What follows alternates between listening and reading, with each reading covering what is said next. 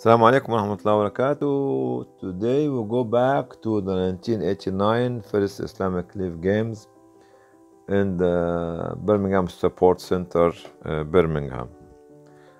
Uh, this uh, message today is very painful to me as a father, very painful to me as an organizer, very painful to me as a human being.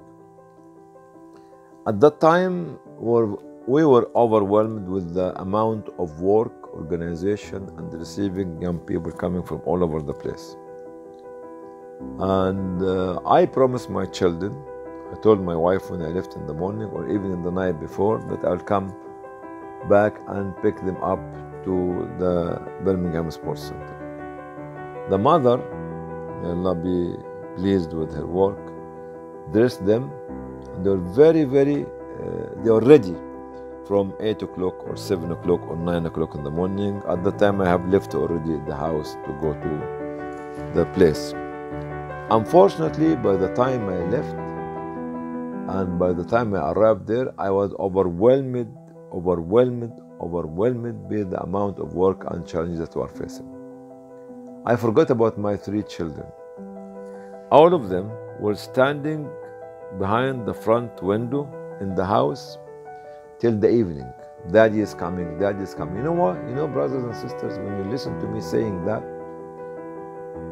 uh, I feel at the moment when I am remembering this story the agony and the pain that I have made or created for my children at that time. I feel it now, 31 years later on. So when I come back in the evening, uh, about 7 or 8 or 9 in the evening, they're still waiting to go to the games very well dressed and waiting for me. I apologized for everybody and they said, Tomorrow we all to go, go together, inshallah.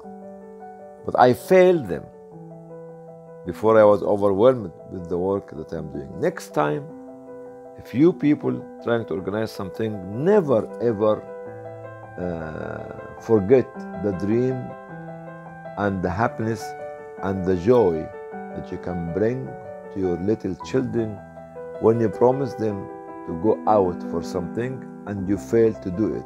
This will dash all the dreams and change such kind of dream into a, a very painful agony in their hearts.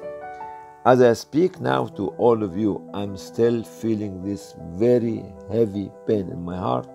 And if you remember, I, I, I uh, talked about shivering uh, story of shivering. This is another story of shivering of my feeling, my heart, my soul, of failing my children to take them with me to the Islamic League Games in 1989. My apology to my third children, but it's too late to apologize. Assalamu alaikum